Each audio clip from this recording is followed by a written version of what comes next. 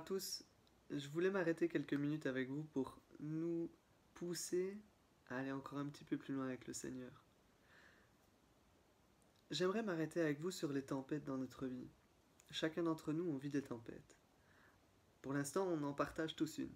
La Covid-19, c'est une tempête qui est là devant nous. La restriction de nos libertés, une autre tempête.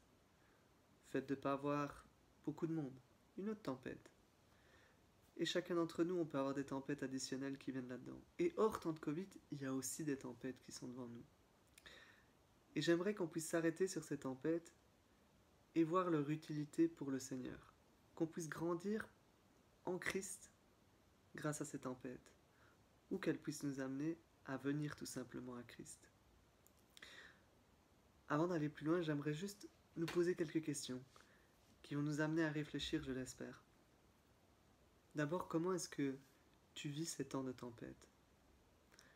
Comment est-ce que tu gères ces tempêtes-là? Est-ce que tu es non-stop anxieux? Est-ce que tu vis tous ces temps la peur au ventre? Ou est-ce que tu es serein dans ces temps? Comment est-ce que tu vis ces temps de tempête? Est-ce que ça fait approfondir ta relation avec Dieu? Quel est l'impact sur ta relation avec Dieu? Est-ce que tu as décidé de jeter Dieu à la poubelle?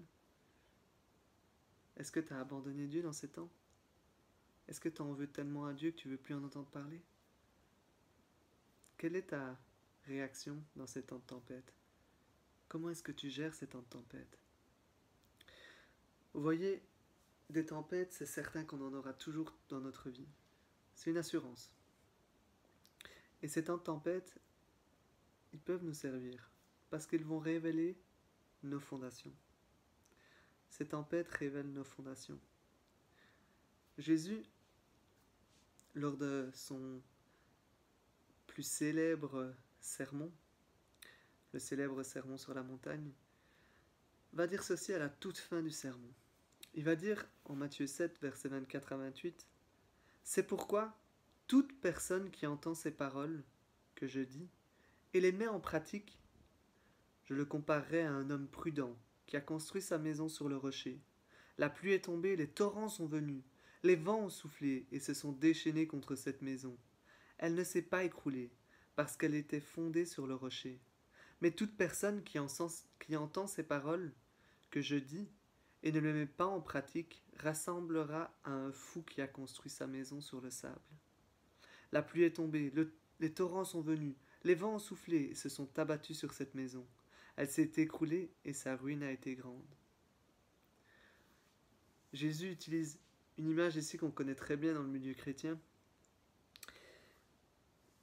Mais en même temps, on ne réalise pas la portée qu'elle a parce qu'on n'a pas toute l'arrière-plan que les premiers auditeurs avaient. En Israël, il y a deux endroits où on peut trouver du sable. Déjà ça, pour la plupart d'entre nous, on ne le sait pas. On en trouve sur la côte, un peu normal, et on en trouve aussi dans le désert. Vous me direz, normal aussi. Mais dans le désert, c'est un sable qui est très dur. C'est pas un sable comme on, le voit dans le Sahara, par exemple. Mais dans le désert, il y a quand même quelques endroits où il y a du sable mou. Et ça, on les trouve dans ce qu'ils appellent les nahal. Et ça, ce sont les lits des rivières asséchées.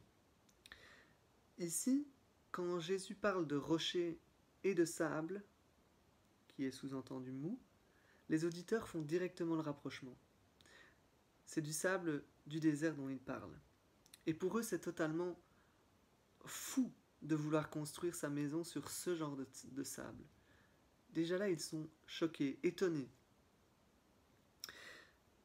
Et vous devez savoir aussi que dans le désert en Israël, la chose qui tue le plus, c'est ce qu'on appelle des crues éclairs. C'est-à-dire qu'en un instant, il peut y avoir des torrents d'eau qui arrivent. Et ici, Jésus est en train de leur dire, celui qui m'entend et qui met en pratique mes paroles, c'est quelqu'un qui construit sa maison sur un rocher. Et sur le rocher, la crue peut venir, la crue éclair peut venir, les torrents vont frapper la maison, le vent va souffler. Peu importe, la maison reste stable.